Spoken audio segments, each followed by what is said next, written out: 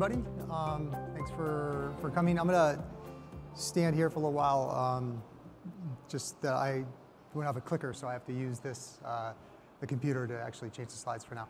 So I'll be standing at the, the podium. But uh, thanks for thanks for joining. This is going to be uh, a presentation more focused on business versus technology. So um, I'm not sure what we have in the audience from a technical perspective to business perspective.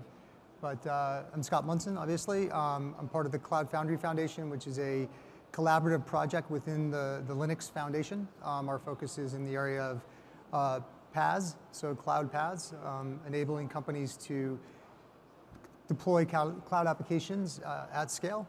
And um, let's get it kicked off. I think what's really interesting being here today and, and listening to some of the talks and seeing the, the fervor that's going on is it, it, feels like IoT is hitting that, that inflection point where you know it's still early, it's real, and it's, it's really starting to take off. Um, it's amazing the amount of, of money that's being put into the infrastructure and to, to the economy um, right now as we go forward. Basically, this, these are the largest eight uh, corporate uh, investments that have happened, and they equate to $26 billion between these eight companies, pretty well-known brands.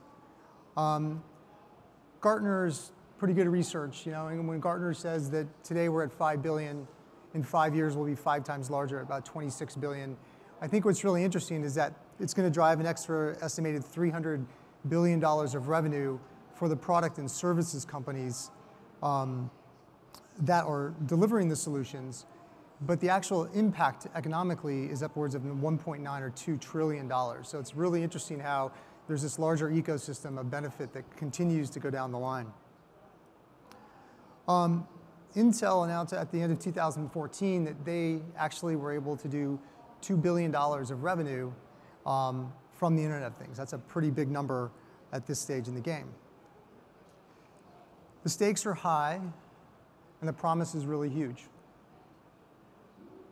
Yet, interestingly enough, Accenture just went out and did a, a research study, um, and 73% of the respondents said they hadn't made any concrete investments in this marketplace yet. So the question is, how are you going to capitalize on this market? If you think about today for the first time, we have access to instantaneous data, right? Data is coming from everywhere. It's there with the, the advances in technology. Um, we have the ability to use that data, process that data, and live the dream of, of IoT and big data that we are going to be able to make instantaneous changes in our business to drive better behavior, maybe save lives, drive down cost, and drive revenues. But there's still a challenge. The average large size company cannot deliver applications or make application changes in real time. So how do you adjust? How do you take advantage of this marketplace when it might take you 90 days to 365 days to actually deliver an application into, pro into production? This is a question that, that GE was faced with. GE is actually a, a gold member of the foundation. Um, and they, they addressed this question. And they took some steps to do it.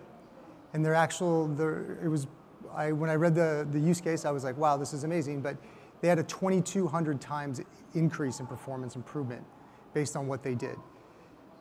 I don't think anybody today sees GE as a large software company. They're you know, one of the largest companies in the world, well known for hardware, well known for industrial and other things. But they made the journey. They've changed the way they do business. And what I like to do right now is walk through kind of the process they went through and the steps they went through and how that works out in the marketplace. I love this quote, and I think that today it's, it's probably more relevant than it was years ago when it was made. But we need to change before we have to. It's, a, it's an imperative in business. We're in the dawn of a new era. I'm, I'm sure this is commonplace, and I know we've heard this before. But if you think about where we are today, with the, the amount of investment that's gone in, the, the drop in prices of compute, storage, screens, everything we have to do to, to drive applications. and the ubiquity of bandwidth that is coming. So we are more and more having ubiquitous wireless networks. What that means is that our, our human behavior is changing, right? We are now expecting everything to be instantaneous. So what's going to happen is it's going to, we're going to connect everything. We're going to move to the internet of all things. Everything is going to be connected as we move forward. This is really going to drive a shift in human behavior. We want everything instantaneously, and we want to bring it now. What that's forcing is it's forcing organizations to work in the same manner. Organizations, when we show up at the website, they want to do commerce with us right now. They want to be able to react to our needs in an instantaneous model. Their behavior is going to match human behavior. What's interesting from a strategic perspective is that since 1979, the gold standard of how you build a business strategy was built around building a sustainable competitive advantage, right? You try to create monopolies, you use pricing models, you use your supply chain, but what you want to do is you want to find a way where you can generate revenue and own a marketplace, and then continue to exploit that over time and maximize your revenue value.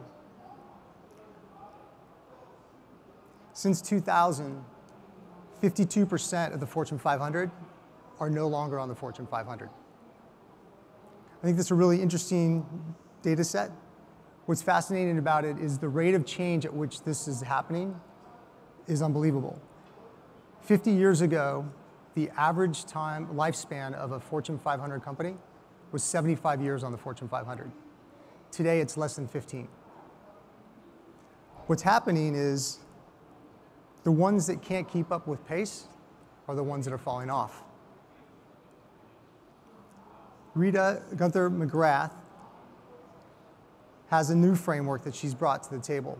She's done a lot of research. She would argue that a sustainable competitive advantage is not possible because competitive advantage is transient. That means that it's changing. So it's no longer the imperative to actually be right on all your bets. What's more important is how you adjust and how you make changes to the marketplace in real time. This framework that she built has real, three real interesting uh, aspects to it. So continuous reconfiguration.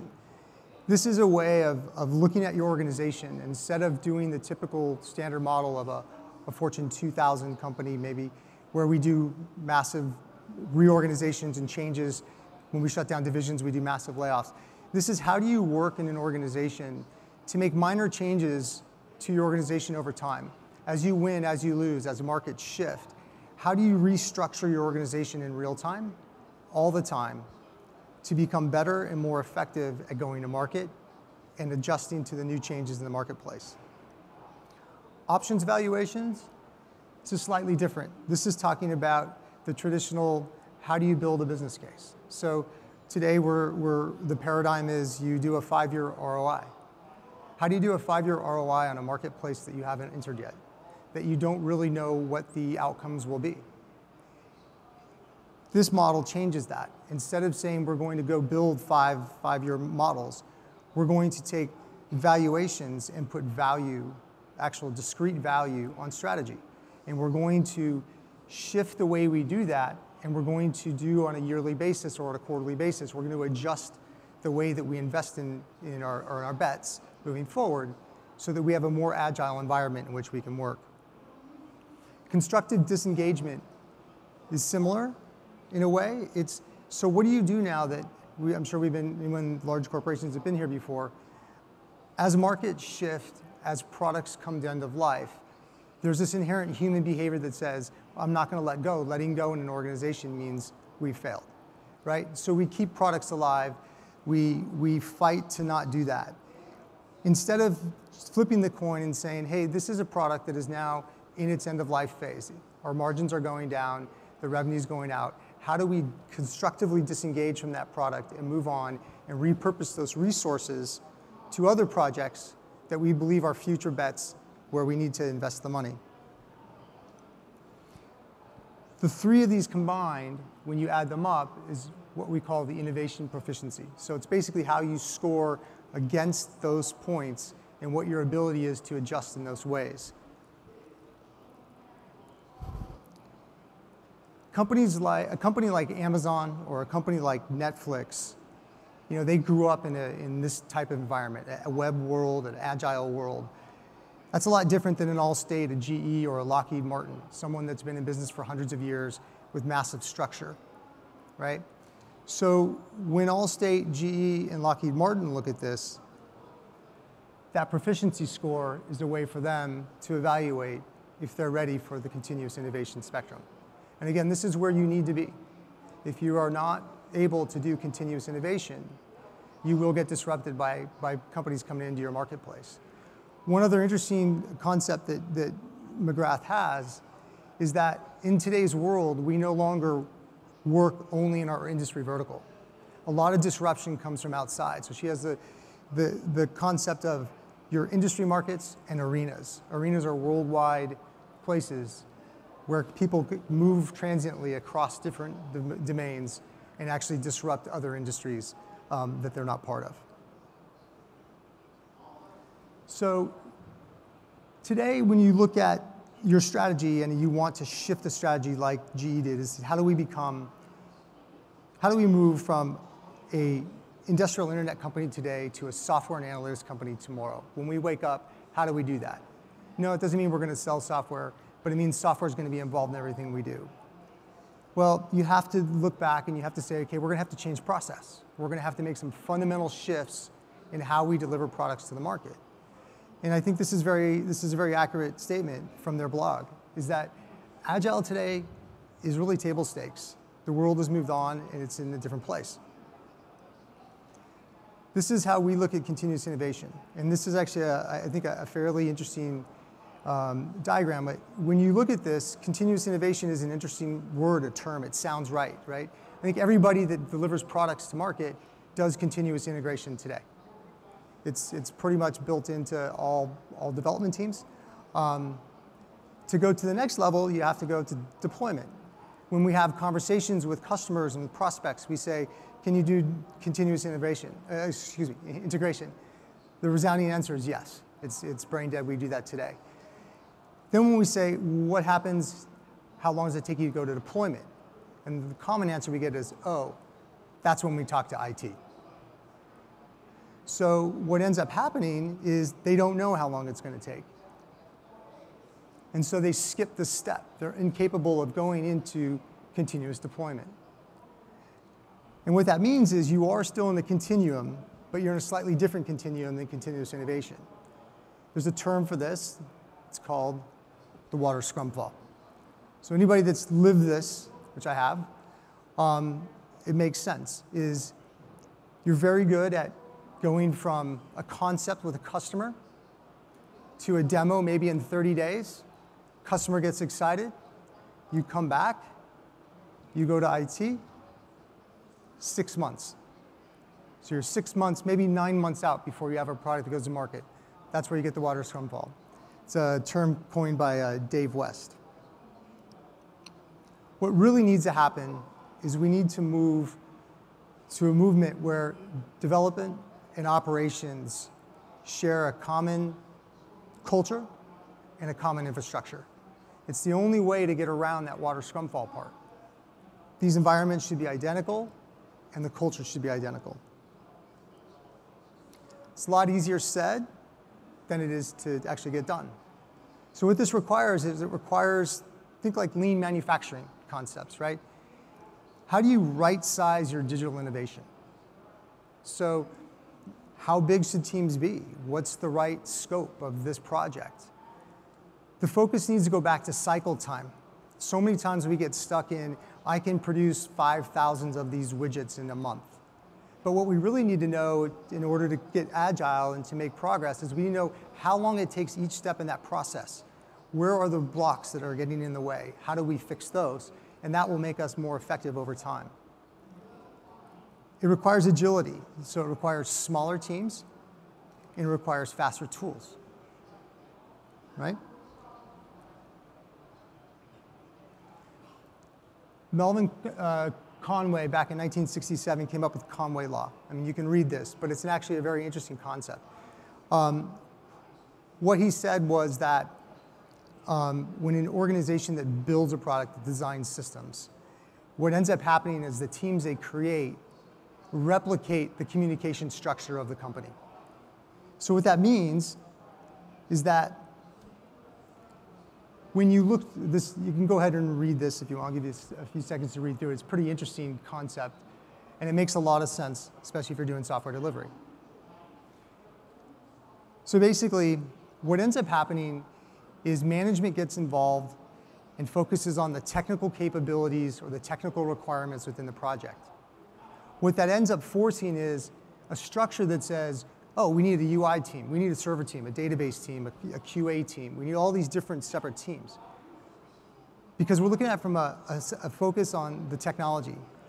What that means is every time we have to do a simple change, you have to go back to every single organization that's, that's different structured in a silo and get them to agree to change budgets, to change timelines, et cetera. What ends up then happening more is smart teams adapt and adopt uh, adapt for that, sorry. And what they do is they start to create logic everywhere. So anybody that's been in software before, built stuff, you don't want your code to look like this. And that's what that kind of, that's the outcome of that, is you have a bunch of code that becomes very, very difficult to manage. This is actually not spaghetti, it's a, a Gordian knot. But uh, that's what, uh, what it looks like. So going back to how do you, how do you work with this? We look at the two pizza team concept. If your teams are over 10 people, they're probably too big. If you can't feed them at night a after a scrum meeting or after a development thing with two pizzas, they're probably too big. We need to break down the silos, and this is where management needs to come back in. What needs to be done is management needs to look at the business objectives of the project versus the technical aspects of the project and build teams that are built upon the business outcomes. What that does is it creates a self-sustaining team. What I mean by that is everything you have to do to deliver that application is held within one team. There's only one budget, there's only one command, there's only one team that makes the decision. It makes things much more simple and much more agile. We also have to be comfortable with these terms. I mean, everything is ephemeral. Hopefully everyone knows that means. It means it's basically instantaneous, right? So in the web world, applications come, containers come, they go. They, they're there and they're gone. But we can't get tied up in worrying about the fact that we're going to lose a container, because that's the state of cloud computing. We know that we can scale up, we know we can scale down, we can move up clusters, we can downsize clusters. But in the end, we have mass running for us and that will provide the ability to scale as things go down. What that gives us is actually the scalability that we require to do things at mass production. When you go back to the architecture slide on, on the Gordian knot, when you have small teams and you have very efficient coding, you also become more agile. Why? Because you're doing less, your production pushes are less, there's less chance of risk. You're, you're reducing risk by doing more, excuse me, doing more builds and producing more changes in shorter periods of time. So next, every time we have a huge shift in business or a big change in organization, we go back to technology. Technology has really, every time there's a significant leap forward, technology has been somewhere in the forefront to enable that to happen. This is actually a quote from the CEO of of uh, GE. The one thing we have learned for sure in the last 50 years or so of software is that there's way too much code for any one company to write and to maintain. I think it's very arguable that if today as a company you go out and you try to reproduce a .NET, you will die before you ever get to market. It's just too complex, and there are too many other options. So these are two pretty big numbers. Um, I'm not sure, you know, think about what they might mean. Anybody have an idea of what these two numbers might mean? $63 billion is spent on R&D by the top 10, top, top 10 tech companies. 80% is the percentage of software that comes from outside the organization. So $63 billion, yet 80% of the, the software that's procured is, is procured from a third-party vendor. What we've noticed is we now live in an age of open source. Why? Because open source is a much more effective way to, to build code. You have a community of people that are building it with you. Instead of only reaching into your own company, you have the ability to go out and reach across industry leaders from all around the world. You get more opinions, you get better code, and you have more opportunity to, to do things unique. What's interesting is open source model actually has a direct impact on key business drivers. So it's a company called Black Duck. This is their data. They do a study every year about kind of the state of, of open source and where it's headed. Every year the numbers get better. But this is 1,300 different people that were interviewed from all different, all the way from programmers all the way up to CEOs of companies. Um, time to market, revenue growth, improvement in margins, all about 80% of companies that are using open source say that that are the, the business drivers that are working for them.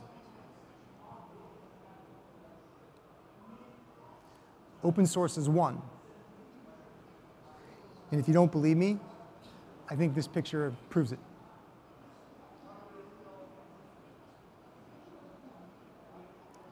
What's interesting is we now live in an age of open source data centers. So everything from the ground up, every stack, every layer in the system, from open compute, right, where Facebook started to, to spec out what hardware should look like, greatly reduce cost and time to market. But if you go all the way up through data centers, operating systems, virtual machines, all the way up to you know, what we do at application platforms as well as programming uh, frameworks, every single one of these is an open source project, every single one. What's even more interesting, I think, is that every single one of them is also now, at each layer, has an open source foundation working with it. Why does that matter? Because the move to open source foundations provides the ability for open source multi-vendor projects where competitors compete, sorry, competitors collaborate in the same marketplace. What happens when you have a single vendor open source community is it's hard to engage for some people because they're afraid that they're actually giving their ideas to their competitor who actually owns that roadmap, right? And this is what I mean. This is, a, this is part of our foundation. Um, all of these companies on the board are shipping Cloud Foundry today. If you look at them, most of them are, are hardcore competitors. But what's interesting is they get together, they share roadmaps, they work together to, I look at Predix, you know, with GE, they're, they're contributing huge amounts right now to open source community. They started a project with us that enables us to to learn more about how to manage IoT in the platform because they're, they're adding things in that are very specific to IoT. But this is what you get when you, when you open source a foundation. What's interesting is the outcome is more important than what the, the slide looks like. One of the biggest values you can get from an open source foundation or an open source project is the ability to not be vendor locked in, right? That's number one thing when we talk to our user, our user member companies about what they're doing in the foundation. What is the number one thing they want to know? They want to know the foundation is there because they want to make sure that when they bet on that product, if they're not happy with the vendor they choose, or if they can't do it themselves, the open source community, they have other options that they can go to. So this is the result of what happens when you do that. This is our current member list right here. But what happens when you get to that point where you've created open source where everyone can contribute and you have members that are, are willing to buy in because there's no vendor lock-in, you create an ecosystem. And that ecosystem becomes self-serving, right? It's got to be open to small companies as well as large companies. So back to GE. Um, this, is, this is the work that GE did with us, so with, with Cloud Foundry, I should say. So GE built their Predix platform on top of Cloud Foundry. Um, why? Because Cloud Foundry makes it very easy to run on any cloud, right? You can run your infrastructure on any cloud. Part of your ability to actually not have to worry about vendor lock-in is the ability to move from cloud to cloud, right? That should be very simple. Cloud Foundry also enabled them to very easily support any type of device that's coming in that wants to get access to data or applications. Very critical when we talk to large organizations in the banking industry and other large, long-time companies is they have a lot of legacy services. And those legacy services are the ones that are driving the most revenue for their companies. So we create, we have simple APIs that enable you to, interfaces and APIs that enable you to actually connect to your own legacy systems, as well as to legacy or uh, other external services outside the platform. So that if we don't, if the open source community doesn't have what you need, or you have a preferred vendor, you can still plug in and use that. And lastly, getting back to dev and ops, is we provide, the, Cloud Foundry provides the, the platform that also manages all the infrastructure, right? It, it takes care of the assembly that you have to do to build a platform by yourself. It actually manages it, pieces are built together.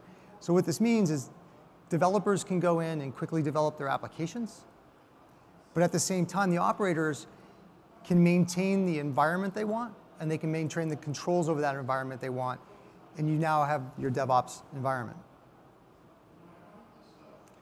So this is a case study um, that, that GE published. It actually was uh, talked about at our uh, Cloud Foundry Summit this last May. But um, they focused on the airline industry. You can see the statistics here.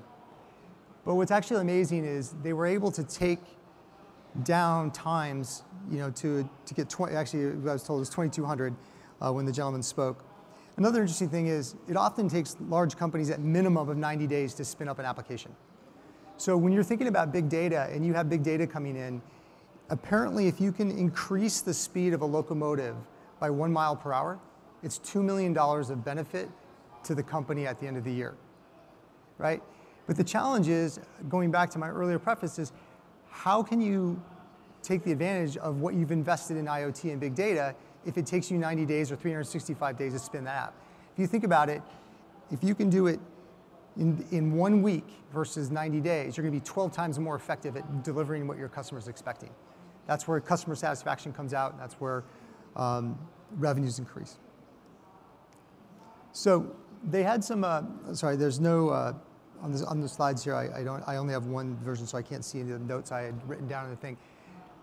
What's interesting about this too is, is they did have a series of, of best practices. If, if people that are interested to learn more about Predix and what they're doing in, in this use case, they have a great blog site that, uh, that talks a lot about this stuff. But what they did is they made sure that the project was not an IT project. It was clearly stated that it was a business project. It had business leaders and IT leaders, technical people leading the project. They invested in open source. Their investment in open source included contributing back to open source. We're talking about GE, a company that you know, years ago would have never touched open source. So they made a huge change in that. They also invested in what we call a dojo. So a dojo is, is a facility that provides training and practice for how to build on Cloud Foundry. So not only did they go in all in on the software, as they said earlier, right? Software has to be there to, to, to do the new things. But they also realized that they had to train people. And that training isn't just for GE employees, it's for anybody in the community that wants to come in and learn how to do Cloud Foundry for the industrial internet. So it's a very powerful thing that they did overall. And then lastly, for us, any meaningful technology has a movement behind it. Actually, for Linux, the movement was open source. For Cloud Foundry, our movement is really about continuous innovation. We enable continuous deployment of cloud native apps at scale. We run across multiple clouds. This is our member list, as I mentioned earlier. But what we're really proud about is the ones that just got highlighted are all what we consider user companies, right? They're people consuming cloud services from either the providers or from Cloud Foundry itself. We're rebalancing the system towards user-defined roadmaps. So actually, we just got done um, in New York City. We had a meeting talking about collaboration is we had 19 bankers from 12 different major banks in a room for four hours in, uh, in New York City. And what we did is we, we had a session of, of discussions and some a little bit of arguments, to be, to be honest, which was really interesting, back and forth. But then we spent the rest of the afternoon having the banks collaborate, coming to the board and writing out what the capabilities were that they wanted to see in Cloud Foundry to make it really truly a financial services platform from the bottom up. We then handed out some fake money. Each company got the same amount of, of dollars to bet, and the banks went up on the board and they actually started to, to spend their money on, on features. And four hours later, we walked out with a, uh, a prioritized roadmap, roadmap number one, I wouldn't call it roadmap, but prioritization of, of capabilities or features that they wanted to see in the platform. Um, and now, as a foundation, what we're doing, as I said earlier, is we go back and we work, we govern the project. So we go in and, and we work with the, the project management committees who actually develop the code. And we are sharing this information with them and now getting proactive feedback. So the users can speak and get a voice back into the, into the foundation, into the roadmap, and build what they needed. And then lastly, we're focusing on certification. Certification is absolutely critical. If you think about the no vendor lock-in, what we're trying to do is we want to make sure that when you, when you have a Cloud Foundry instance, that Cloud Foundry instance is the same as that Cloud Foundry instance from, from, the, from the bare bones minimum requirements. What that means is I can pick up my applications and I can port them from cloud to cloud. This will make it lasting and durable, and this is what really builds the ecosystem of opportunity. So that's what we're about. Um, lastly, we see a world of computing that is ubiquitous and flexible, like supporting private, hybrid, and public clouds. Um, it's amazing. I, I, think two years ago, before I joined the foundation, I was at AT&T, and we had a series of financial institutions in, in a room, and it was a very similar kind of a proactive work center. And they said, there's no way we'll ever go to a public cloud. It's not possible. And then day two, they had to work together at tables to build the data center of the future. And every single table had a data center and a public data center with a VPN connection. So we're at that point, and we need to support this. We believe in portability and interoperability, which I've already talked about through you know, enabling things to be moved across loads. Um, and we want to build an ecosystem that's vibrant and growing. And also, we're very human. So we, we believe in pragmatism. We love to exchange. Sometimes you don't have to agree, but practical exchange is good. We want a diverse community, right? This is inclusive of everybody that wants to participate. You don't have to be an enterprise. You can be an individual and still contribute to the code. And lastly, respectful. We want to listen to our thought, listen to our users, and build a, a platform that meets their needs. So that's that is the short talk that uh, I wanted to prepare for this. But uh, thank you for, for, being here. I apologize that there were probably some little messages that left off. I didn't have uh, all the notes available at all. So um, happy to answer any questions or comments you might have.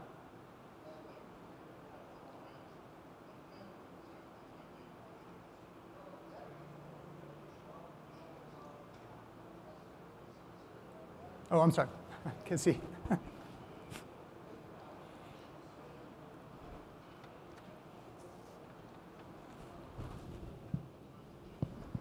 well, I guess as applications, um, you know, move to the cloud, uh, the risk of damage is uh, is uh, huge in terms of security, of cybersecurity. I mean, it, it, I understand that the you know, the cloud is, you know, is, is very safe. You know, there's a lot of safety devices that protect the cloud from hackers. But at the same time, some, some of the, uh, you know, the services that are being, you know, uh, cloud-based, mm -hmm. um, you know, are very, uh, so, so mission critical that the risk has to be um, you know, zero risk. So how do you address this issue? You know, that you, you may be servicing companies, you know, if there is, you know, a, uh, some kind of, of, of, failure in, in, in, the, in the processing of data, you know, that can uh, have huge consequences. Okay, so uh, if I understand correctly, you're, you're when you say cloud, are you are you referring to public cloud, private cloud? Are you making a difference between that or just the concept of cloud as a, as a conceptual deployment model? Yeah, well, just, just a conceptual model, you know, that just uh, the consequences of, and, and we know that there are more and more cyber at attacks. Mm -hmm. uh, so they would affect, you know, as, as you can see even uh, in, the, in the utility business, you know, where entire regions of the United States, you know, went dark because of a, a virus, you know, in the networks. Um, you know, the risk, you know, um, is, is getting bigger as, you know, uh, companies being serviced through the cloud are increasing in numbers. Okay. May, so I think there are arguments that would go against that too. Um, I, if you, so security is an issue no matter where you are, right? I guess there, we feel more comfortable when you have your own data center maybe that you're, you're protecting. Um, but if, if you think about, actually from an open source perspective, I think there's an argument you could say that security in an open source environment, if we, or if you do security in an open source environment, you have more minds and better minds working on the problem. Eventually, I, my opinion, we had this conversation today before a panel, is, is someone asked a question like, what happens if someone asks the question about security on, on IoT, like what's gonna happen? And the question is, well, it, it will eventually get broken, right? So the question is, how do you manage it afterwards? That, that was kind of the response. But, but what I think is that, I mean, there are, banks are now moving to, to public cloud. Um, one argument I heard was that when you go into a public cloud, the data is really obfuscated because there's multiple different tenants within that cloud. So it's not quite as easy to actually get at the right data all the time. Where when you go into a target, it's on their premise and you actually get it. I don't know if cl- I don't know if that application. I don't think that application was actually running in a cloud. I think it was just running on normal infrastructure. But once you're in there, you are in there, right? And that's all their data. So there are some arguments to go back and forth. But security in the financial stuff, when, when on the roadmap, top four things were around security, right? How do you how do we make sure that the cloud is as, as secure as it can be? But I think everyone's agreed that the risk is about the same. I just I'm not sure why the cloud computing aspect of it makes that much of a difference from a technical perspective. A lot of the backend systems, the older systems that they're hitting, you know, they're using either a microservice architecture or they're using an API call to go back to it too. So there is some obfuscation between that. Well, actually, cl- cloud computing is, is, is known to be safer than you know uh, private networks uh, because they put the best technologies you know to, to protect you know of course because Right. of the size you know of the you know the, the business. But they are you know if, if you push this to the very limit you know and, and, and everything is on the cloud um, the, the risk it's like the, the risk of nuclear war you know. If there's a nuclear war um, you know, everyone loses. So you, you cannot even afford to, to wage a nuclear war. And uh, let's say if cloud gets to the point that, you know, even a, a, a 1,000th percent risk, you know, can, can damage, you know, a whole country, then it's not worth, worth it. I mean, the, the money savings, the, the improvement in the, in the quality of services, everything is not worth even 1% or 1,000th percent of the risk. Yeah, yeah, I, I understand, but I, I guess what I'm going back is where, where I'm, I'm, I guess I'm not agreeing is that um, our government got hacked, right? Millions of records were given out. Everything about individuals working for the government. I don't think that was on cloud. I think that was just a normal infrastructure. So I think, I, I guess what I'm saying is, I, I, yeah, there is a risk, right? There, every time, everything we put into the web or in a data center is at risk. I just, I'm, I'm not convinced that there's a, I'm not sure if I followed your question maybe, but I mean, we, we, we take secur- security very serious. It's, you know, there are projects to, to develop that and to make it as good as possible. But I think it's just the same as anything that you put out on the web. Any, any data center is going to be the same. That's been my take. Any other questions?